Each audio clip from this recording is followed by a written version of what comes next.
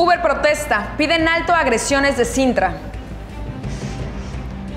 Tomarán el ayuntamiento, abren convocatoria para cabildo infantil.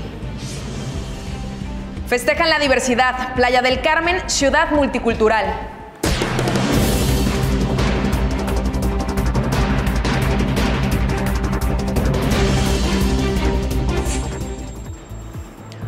Soy Karen López desde la redacción de México News Network, donde hablaremos de las noticias más relevantes de Quintana Roo.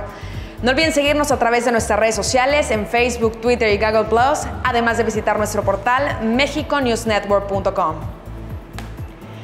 Y señores, hoy al mediodía, alrededor de 30 choferes de Uber realizaron una protesta en la glorieta del ceviche de la ciudad de Cancún para exigir un alto a las agresiones y detenciones por parte de inspectores de la Secretaría de Infraestructura y Transporte, mejor conocido como Sintra.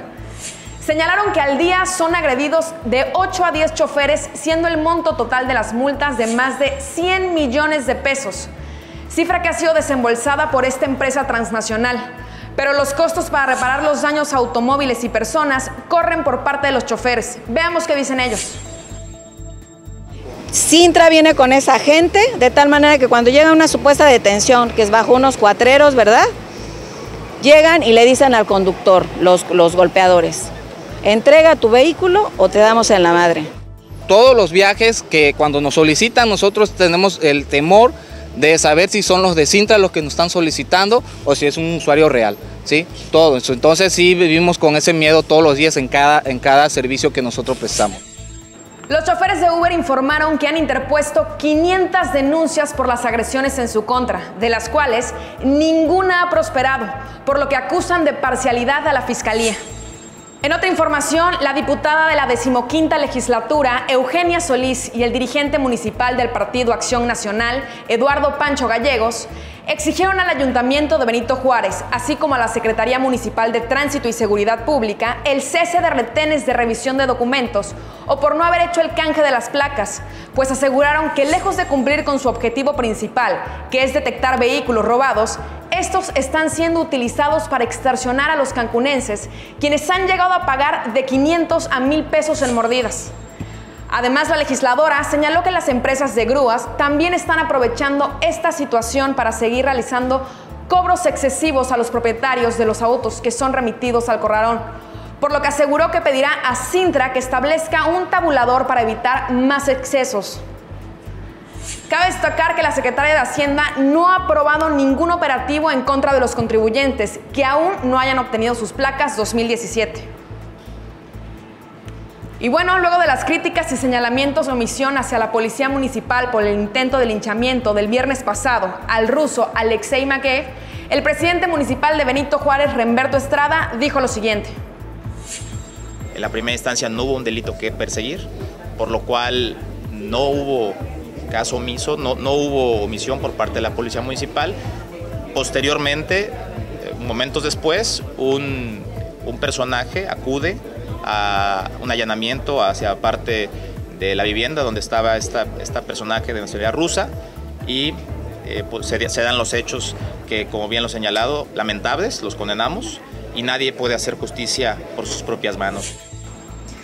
Y bueno, aquí la realidad es que nada justifica la violencia y la no intervención de las autoridades para evitar estos actos que además cobraron ya una vida.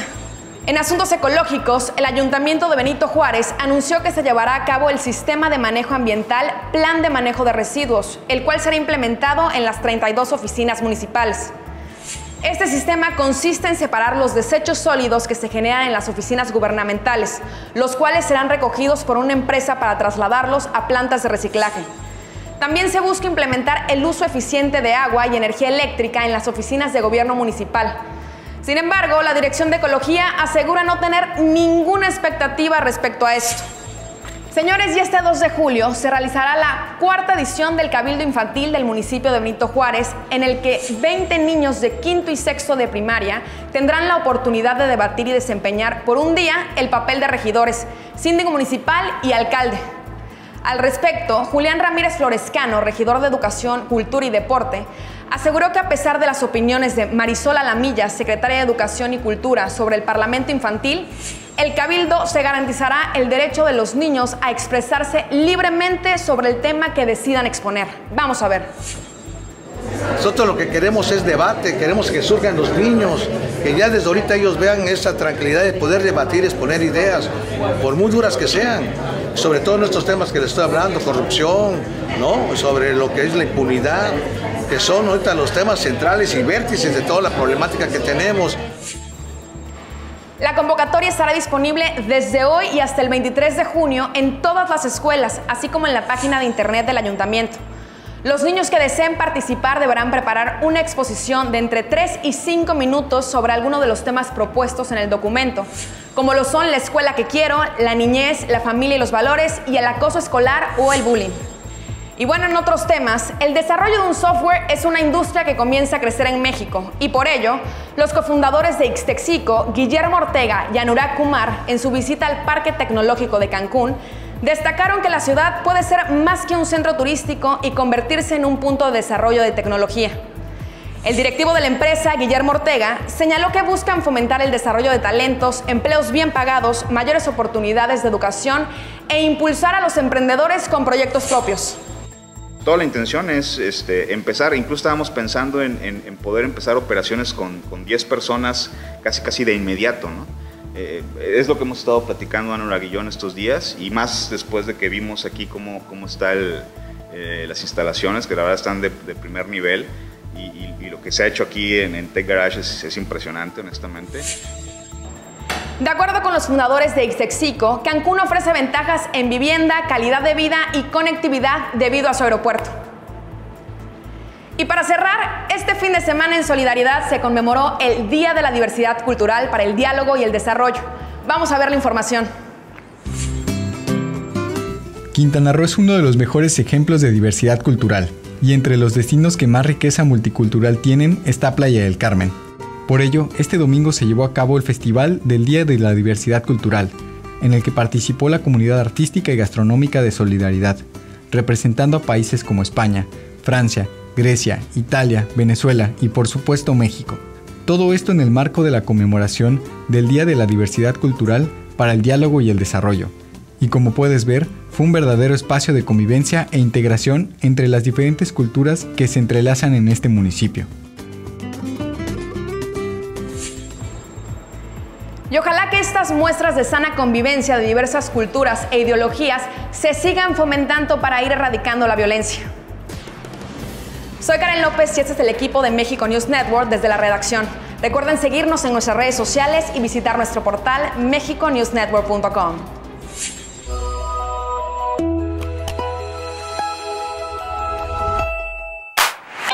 te gustó nuestro contenido, recuerda darnos like y suscribirte. Si quieres mantenerte informado de las noticias del día, visita nuestra playlist.